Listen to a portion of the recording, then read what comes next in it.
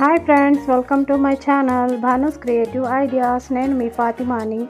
ఈరోజు ఒక వ్లాగ్ చేసామండి మా ఊరి బయట ఒక దర్గా ఉంది మంచి ఫేమస్ దర్గా. దాని గురించి ఒక వీడియో షేర్ చేద్దాం మీ అందరితో షేర్ చేసుకుందామని అనుకున్నాను. మా వారు థర్స్డే ఈవినింగ్ త్వరగా వచ్చారు బట్ రెడీ అయ్యి వచ్చేసరికి చాలా చీకటి పడిపోయింది. అక్కడికి చెప్పారు మా వారు ఈ థర్స్డే రోజు జరగదు ఫ్రైడే వెళ్దామని బట్ నేనే వినకుండా మొండిగా చేశాను. సో ఆ సైకిల్ మా వారి వాహనం అనమాట చాలా పాతది.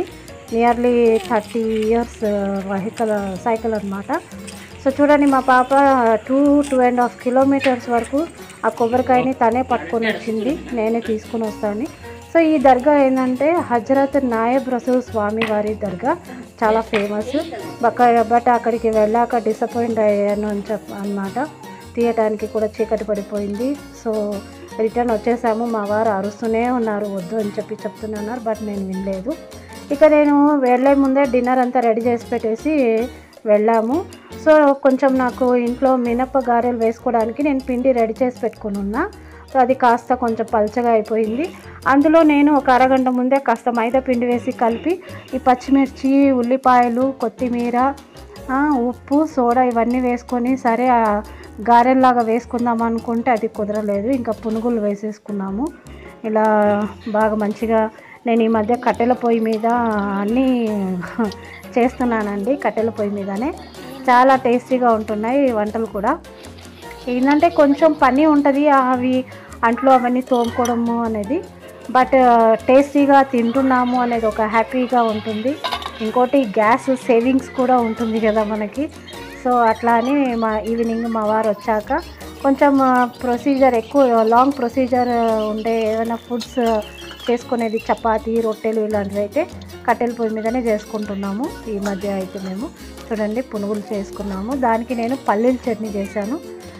చూడండి ఇవి మా పాపకి నేనైతే ఫుడ్ తినిపించేశాను వచ్చాక దర్గా నుండి వచ్చాక.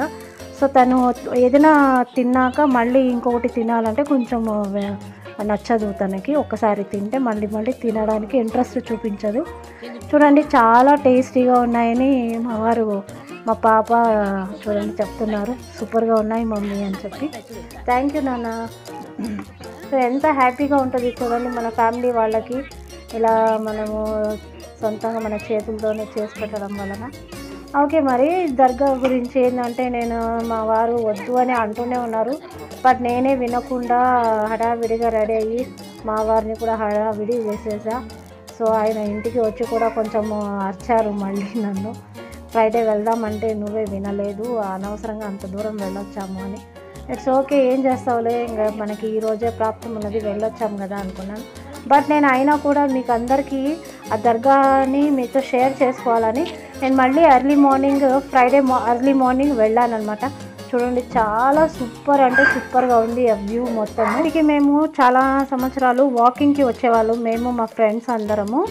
ఎర్లీ మార్నింగ్ చాలా సూపర్గా ఉంటుందండి. ఎంత బిజీగా మనము ప్రెస్టేషన్లో ఉన్నా కూడా ఇక్కడికి వస్తే మైండ్ ఫ్రెష్ అయిపోతుంది. అందుకే మేము ప్రతిసారి వాకింగ్కి ఇక్కడికే వస్తామన్నమాట. వెదర్ కూడా చాలా బాగుంటుంది. ఇది రీసెంట్గా ఒక టూ ఇయర్స్ నుండి ఈ దర్గాని బాగా డెవలప్ చేశారండి. సో ఇక్కడ హురుస్ అని జరుగుద్ది. అంటే హురుస్ అంటే తిరునాళ్ళు అంటారు కదా.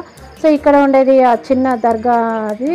ఆయన నాయబ్ రసూల్ స్వామి వారి భార్యమణి అనమాట ఆయనకు ఆమెకి కూడా ఒక సమాధి కట్టించి ఇట్లా చేశారు.